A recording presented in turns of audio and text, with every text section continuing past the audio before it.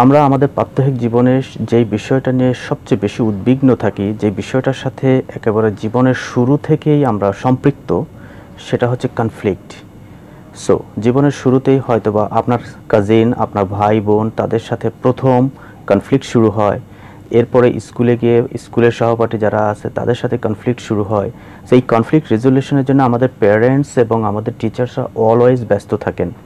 এবং জীবনে যখন আমরা আমাদের কেরিয়ার লাইফে আসি অর্গানাইজেশনে অনেক ধরনের কনফ্লিক্ট তৈরি হয়। সো সেই কনফ্লিক্ট বিষয় নিয়ে আজ দেখুন, আমার সাথে থাকুন আমি শহীদুল ইসলাম। আপনাদের সকলকে স্বাগত জানাচ্ছি আরও একবার শহীদুল একাডেমিতে। আমার ভিডিওটি যদি ভালো লেগে থাকে, তো প্লিজ সাবস্ক্রাইব করে নেবেন এবং আপনি লাইক এবং কমেন্টস বক্সে আপনার ভ্যালুয়েবল কমেন্টস দিয়ে ইন্সপায়ার করবেন। থ্যাংক ইউ কনফ্লিক্ট নিয়ে নেগেটিভ জিনিস বলার আগে প্রথমে আমি শুরু করব। কনফ্লিক্টের আসলে পসিবল আউটকামসগুলো কী কী? Basically there are four possible outcomes of conflict so আমি এই four possible intentions of any পার্টিসিপেন্টসের একটা মডেল আছে, যে এই মডেলটা নিয়ে আজ কথা বলব। সো আমরা একটু দেখে নিই তাহলে ফোর পসিবল আউটকামস অফ কনফ্লিক্টগুলো কী কী হতে পারে। নাম্বার ওয়ান কোয়াড্রেন্ট হচ্ছে that is call loss loss loss loss is outcomes of the you know conflicts যদি আমরা কনফ্লিক্টস নর্মালি কার ভিতরে হয়ে থাকে? দুইটা পার্সনের সাথে তুলনা করি। এ যদি আমি নিজেকে সেলফ কল্পনা করি এবং বি হচ্ছে আমার অপোনেন্টস যে থাকবে, যার সাথে আমার কনফ্লিক্ট হচ্ছে। সো যেই সিচুয়েশনে যেই কনফ্লিক্টের জন্য এ এবং বি বোথ পার্টিস তাদের যে আগের অবস্থান ছিল, তার চাইতে আরও বেশি লস করেছে, তাদের অবস্থান আরও অনেক ওয়ার্স হয়েছে। সেই সিচুয়েশনটাকে আমরা লস লস সিচুয়েশন বলব। এটার সবচেয়ে এক্সট্রিম একটা এক্সাম্পল হচ্ছে ফর অ্যান এক্সাম্পল কোনো অর্গানাইজেশন থেকে একজন পটেনশিয়াল এক্সিকিউটিভকে ফায়ার করা হলো, যেই এক্সিকিউটিভ ওই অর্গানাইজেশনের সবচেয়ে যে কি প্রোডাক্ট সবচেয়ে যে সাকসেসফুল প্রোডাক্ট সেই প্রোডাক্টের ফর্মুলা সে জানে।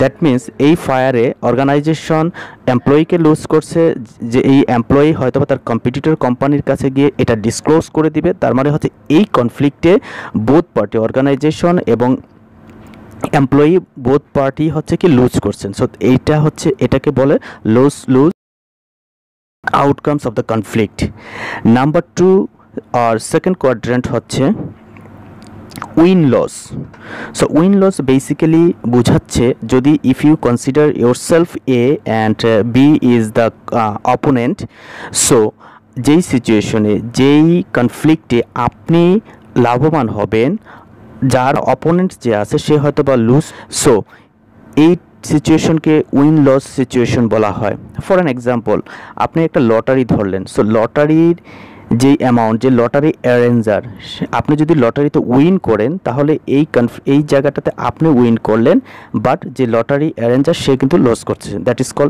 win loss situations third quadrant if you talk about loss win so আপনি নিজেকে যদি পার্সন এ ধরেন, যেই সিচুয়েশনে যেই কনফ্লিক্টে আপনি নিজে ক্ষতিগ্রস্ত হবেন পূর্বের অবস্থার চাইতে বাট আপনার যে অপোনেন্ট থাকবে সে যখন তার পূর্বের অবস্থান থেকে আরও উন্নতি লাভ করবে অর্থাৎ সে গেইন করবে that is call loss win model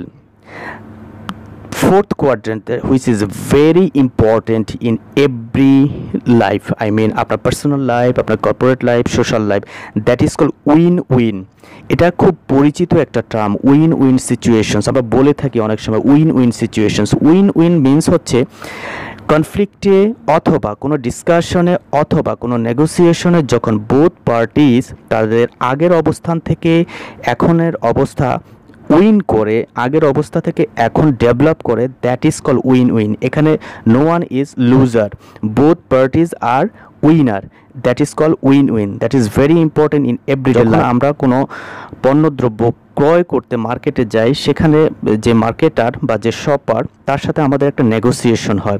so নেগোসিয়েশনের একটা জায়গায় যখন ক্রেতা মনে করে যে এই প্রাইসটা তার জন্য প্লাউজিবল তার জন্য ওকে তখন সে ওই প্রাইসটা তাকে অফার করে। অন দ্য আদার হ্যান্ড যে শপার যে বিক্রেতা, সেও কিন্তু তার প্রফিট মার্জিনকে ঠিক রেখে তার সাথে এগ্রি করে। অর্থাৎ বোথ পার্টি উইন হওয়ার পরেই কিন্তু এই সিচুয়েশন সম্পন্ন হয়।